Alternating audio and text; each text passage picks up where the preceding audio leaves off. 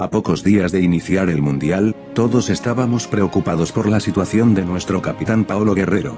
Muchos teníamos la esperanza de poder verlo jugar con la selección, pero esto parecía cada vez más lejano. Con la decisión del TAS ya establecida, se optó por presentar el caso ante el presidente de la FIFA, Gianni Infantino.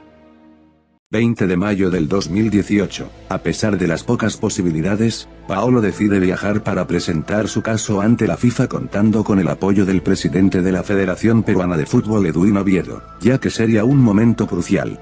Aunque, justo antes de irse, podemos observar que Paolo llevaba un objeto en la mano, algo que parecía ser un aguairo, pero de ser así, ¿por qué llevaría un aguairo a hurtadillas?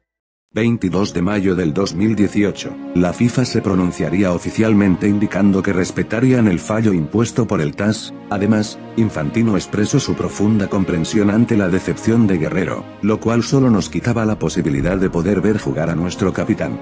Pero, algo misterioso pasaría. 24 de mayo del 2018, en una actitud muy sospechosa, se pudo ver a Oviedo junto con Infantino saliendo de lo que parecía ser una reunión a puertas cerradas. Lo intrigante fue que se pudo observar que Infantino tenía una Guairo en la maletera de su auto, muy parecida a la que tenía Guerrero antes de reunirse con él. ¿Acaso será una mera coincidencia? 31 de mayo del 2018, lo que parecía imposible sucedió. El Tribunal Federal Suizo informó que se había otorgado a Guerrero la posibilidad de poder reintegrarse al equipo para jugar en el Mundial, inhabilitando temporalmente la suspensión impuesta por el TAS. No podemos asegurar cuál fue el motivo de la habilitación de Paolo, pero lo que sí sabemos, es que Infantino es un guairero más. Todos los peruanos estamos listos para el Mundial.